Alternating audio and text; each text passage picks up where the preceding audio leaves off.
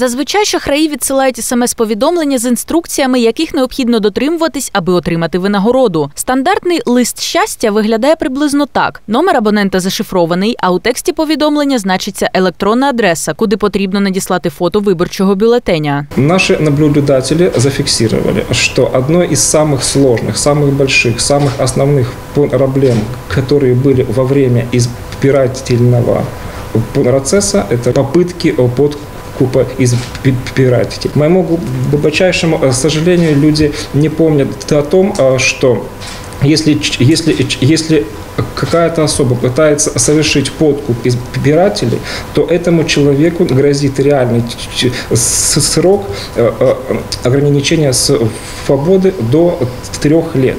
У випадку підкупа голосів відповідати буде не тільки людина, яка купує, а також та, яка продає. Городянам, які вирішили заробити гроші подібним способом, загрожує срок позбавлення волі до двох років. В этом случае, куда смотрят э, наши сразу правоохранительные органы, никто не мог дать никакого объяснения. Потому что все эти фальсификации, они были э, не прикрыты. То есть э, те же самые подкупы, люди жаловались, писали, скажем, письма. Э, Мы сейчас вот делаем отчет еще э, только вот э, после первого этого тура. Но фактов, я говорю, вот э, даже на вот этом вот маленьком примере тут э, очень много.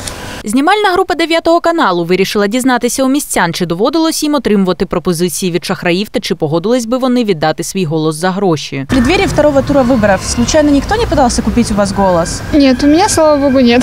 А если бы, допустим, вам бы прислали сообщение, вы бы про- продали его? Честно, нет. Я как-то такие лохотроны, как я говорю, не ведусь. Нет, не пытались. Не пытались. А вы бы продали, если бы, к примеру, вам бы прислали? Нет, конечно. А что бы вы сделали в ситуации, если бы у вас предложили купить голос? Отказались бы, естественно. Хорошо, спасибо большое. Смотря сколько бы дали.